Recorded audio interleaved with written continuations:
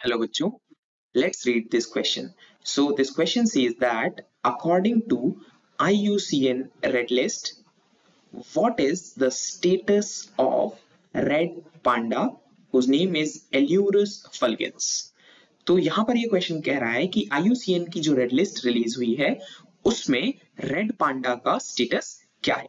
तो red panda के status को जानने से पहले आइए समझते हैं कि ये जो चीज़ें दी गई हैं and given options like critically endangered species vulnerable species extinct species और एंडेंजर्ड स्पीशीज तो चलिए पहले हम इन्हें समझते हैं। तो इनकी सिवियरिटी के ऑर्डर कुछ इस तरीके से हैं।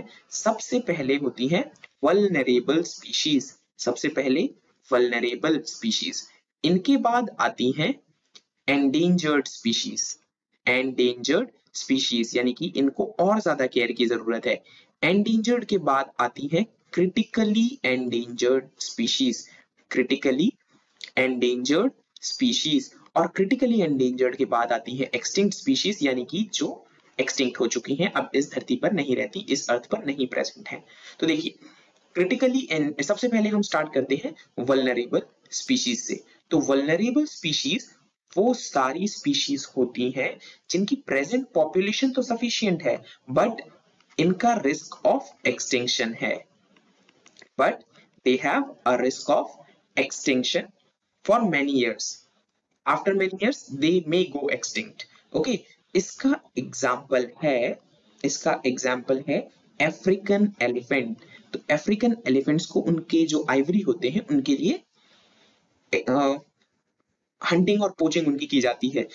इसीलिए वो वलरेबल स्पीशीज की कैटेगरी में आ गए हैं। तो अफ्रीकन एलिफेंट इसका एग्ज़ाम्पल हो जाएगा।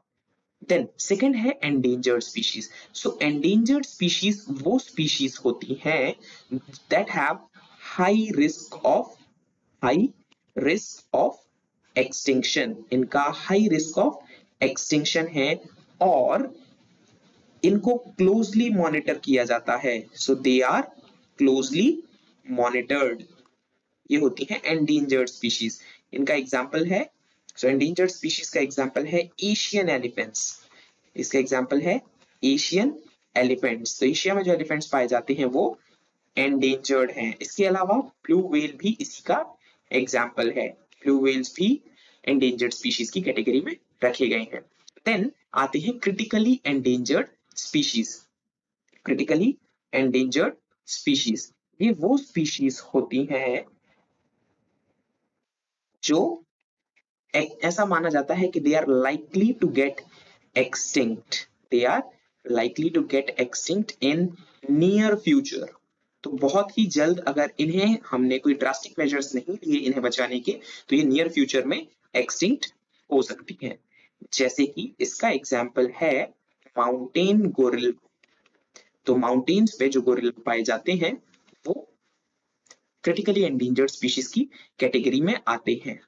और एक्सटिंक्ट स्पीशीज वो स्पीशीज होती हैं, जिनका कोई भी living member no living member exist on earth जिसका अर्थ पर कोई भी लिविंग मेंबर एग्जिस्ट नहीं करता।